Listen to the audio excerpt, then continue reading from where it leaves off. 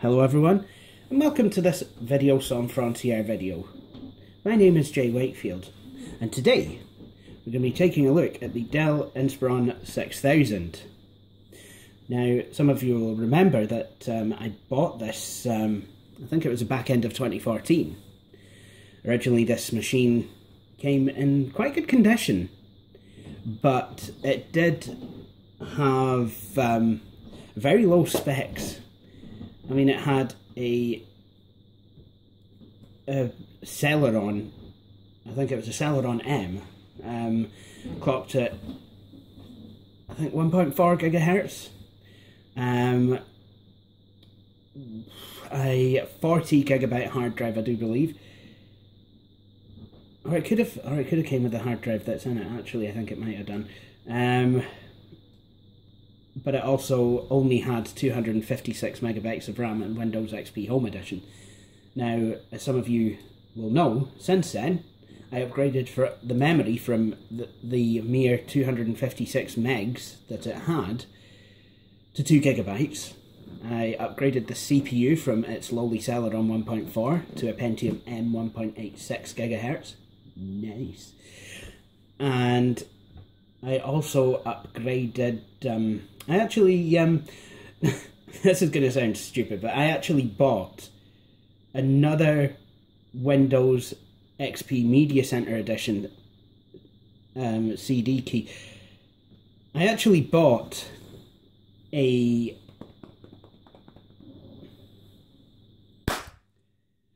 I actually bought a replacement memory cover memory compartment cover.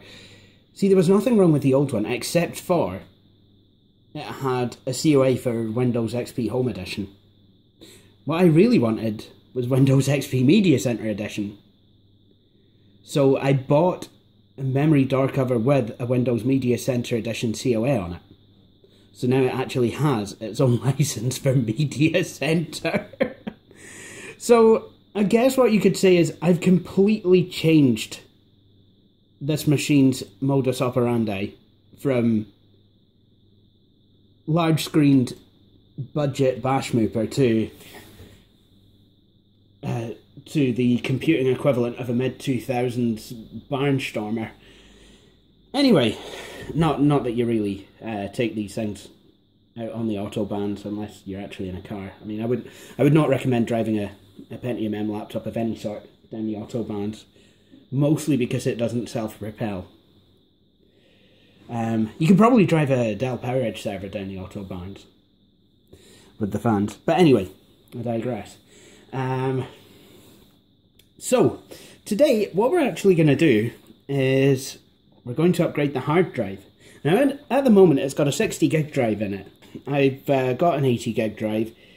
Um, you know, I may as well you know, give it that bit more space because, you know, why not? Um, try to make a machine that um, I'm trying to make the best possible Pentium M machine that's possible to make. Well, kind of. I mean, probably not going to go with the ATI graphics because, well, I'll end up with a silver and white coloured puddle of gooey mess from where it melts. Um, I I don't want that. Um, so anyway, let's get straight to it then in uh, installing the new hard drive. So, first off, what we want to do is um, we want to lose power to the laptop. Take away all of its power, just like the UK government does to its uh, citizens every day. Next thing we want to do is remove the hard disk caddy. Now this is normally locked in by a couple of screws, but on this machine they're missing um, for whatever reason. Um, so it's literally just a case of put, you know, hooking my fingers behind this lip and then just pull. And there we go. And here's the drive. It's a um, it's actually Hitachi Travelstar. Nice. what I need to do now is unscrew the hard disk from the caddy. Now this bit is screwed in. So now this bit, some of you may recognise as a hard disk adapter, well the adapter that actually lets you plug it into the Dell. And this has been with us since the um, since the Dell Latitude uh, CSX, probably the CX as well, uh, CS as well. I'm not entirely sure, but uh,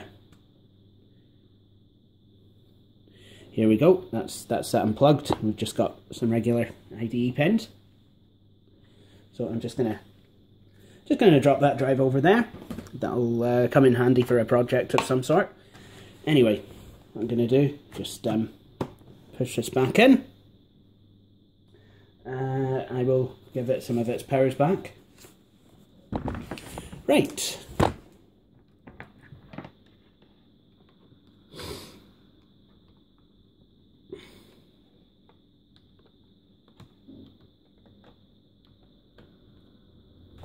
Okay, what I'm going to do now is we'll plug the machine in. I'm just going to plug in the Ethernet cable as well. Nice. Okay. Now, something else that I have, I'm so glad the optical drive is on the left side of this machine, is an actual Dell OEM Media Center CD. Now, next thing to do, scroll down to device info um, yep, we now see 80 gigabyte hard disk drive and CDRW DVD combo. I said, yep, brilliant. Okay, hard drive is installed, it's recognised. Good. So that's Windows started up. Um, I want to set up Windows. Right, now this disk had, well, a failed, a failed dual boot by the looks of things. So what I'm going to do I'm going to delete that. I'm going to delete that. And I'm going to delete that. So now I've got uh, now I've got 74 gigs of unpartitioned space. So what I'm going to do is format using the NTFS file system. I'll do a full format. This is going to take a, quite a while to fully format. So I'm going to enjoy this cup of tea and I will join you for the GUI portion of setup. So quite a while later, here we are at the GUI portion of setup. So I think by now you'll know the drill, for me at least. Set this to the United, uh, United Kingdom system locale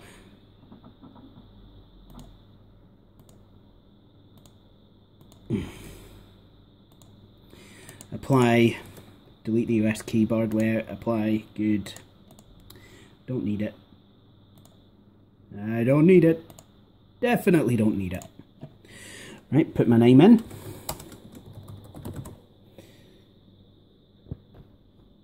And now I need to name this machine.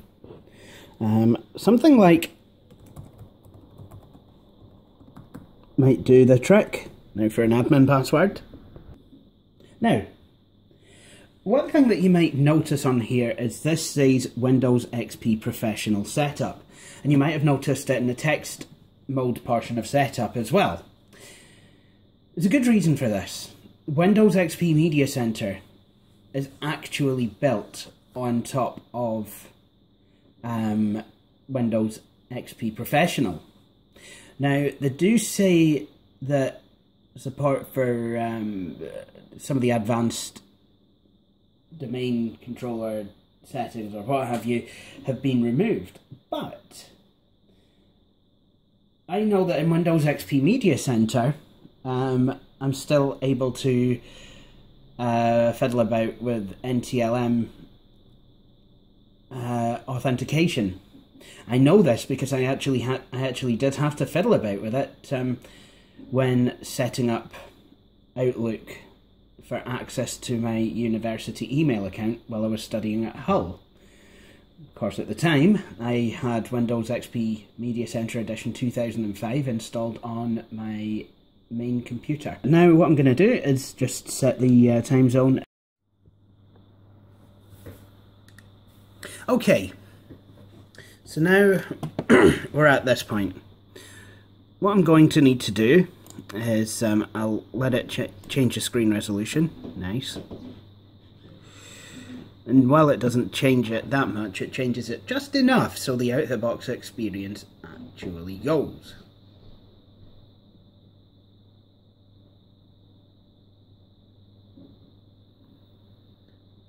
Okay, so I'm at the uh, the box experience. What I'm going to do now is, um, yep, uh, turn on Windows Update.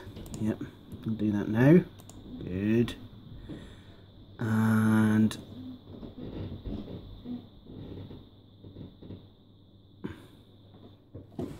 yep, type my name in.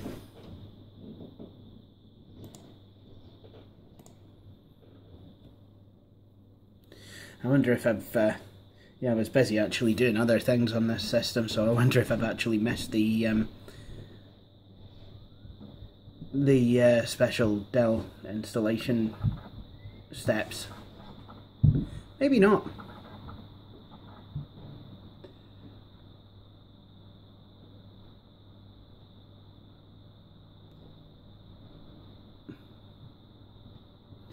Probably not actually, considering how long it's taking. Although that could be it, just setting up my profile. When Windows, when you install Windows, the first time you set it up, it usually does take quite a while. Oh, here we go. Um, installing applications, please wait up to 30 minutes for the um, while the installation is in progress. So basically, I'll be on this screen for um, quite some time. So, I will be back once this is done. So today is the next day, and we're actually in Windows XP Media Center Edition at the desktop now. So, what I'm going to do now is install, well first off, I want to install the chipset driver.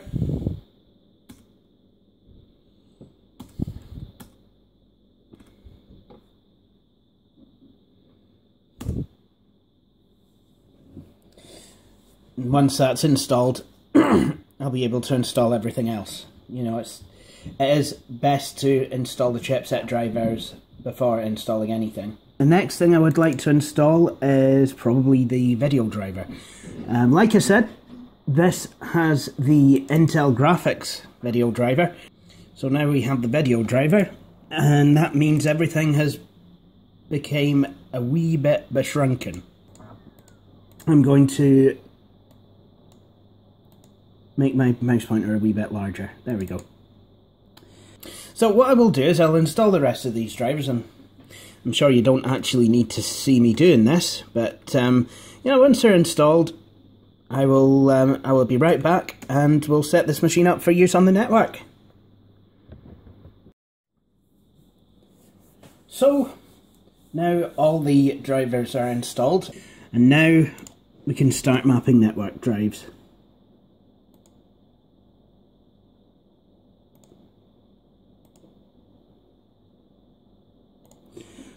So I'll do that.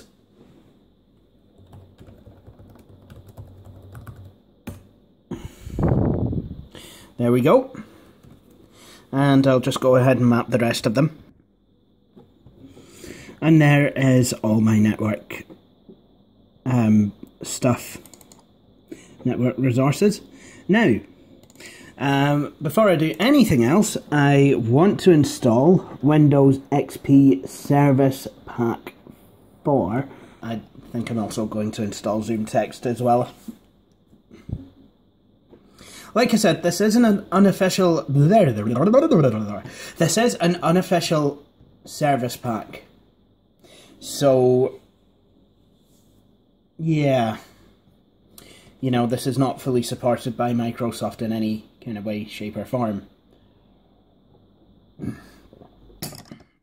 However, it does allow you to get the Windows Embedded POSReady updates. And just kind of generally keep Windows XP running tickety-boo. So, what I will do is I will let this actually go ahead and install itself. And I'll be right back. I don't know um, how long this is going to take. But um, as you can see, it actually installs like any other Windows XP Service Pack. SITREP Windows XP Service Pack 4, unofficial Service Pack 4, is now installed. And it's given us um, a lot of updates. And it's also given us Internet Explorer 8, which is the last supported version of Internet Explorer for Windows XP. Now, still a couple things I will need to install. CD burning software, DVD, uh, DVD decoder, um, you know, kind of things like that. But um, yeah, I think um, for now, I think uh, this is done. I mean, uh, the machine is all up and running. Thank you all for watching this video, and please do feel free to join me for my next one. Goodbye.